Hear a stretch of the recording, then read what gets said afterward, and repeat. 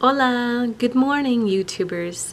Today I wanted to uh, share with you um, my favorite bread at this point in time.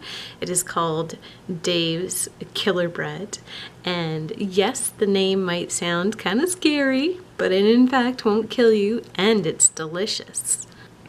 The breads are non-GMO uh, and organic and full of lots of whole grains and seeds. So it's super duper healthy for you and delicious too. So there are a variety of options to choose from. You have your burger buns, you have your English muffins, um, you have bagels, you have thin slice breads, you have regular slice breads, so many different options to choose and the best thing guys is it's super healthy. So what you're putting into your body your body thanks you for it. Now I just wanted to share with you.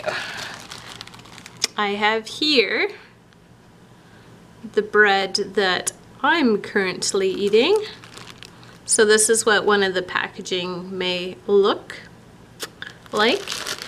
And there's actually a little bit of the backstory here, so I'm just going to read it to you. So it says here, after spending 15 years in prison, Dave Dahl found an opportunity to reinvent himself in the most unlikely of places, the family bakery. Dave set out to make a bread like no other, the best tasting, organic, and nutritious whole grain loaf. And the result is what he called killer bread. So that's quite interesting. And then also I went on to their, um, their web page and there's a little about us brief history as well. So what it said was, what began as one man's journey has turned into so much more. Dave's Killer Bread has become America's number one organic bread.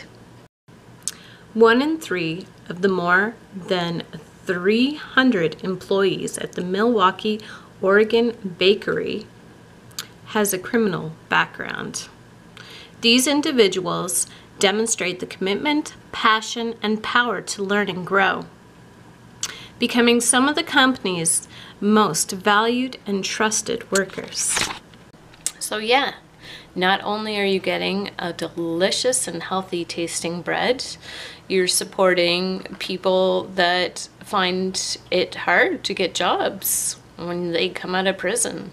People are judged and looked at unfairly for their past. And people change. Not all people change, but people change. And everyone should be given a second chance. And with that in mind, I will send you off. This is the, uh, the rind of the bread. uh, cheers.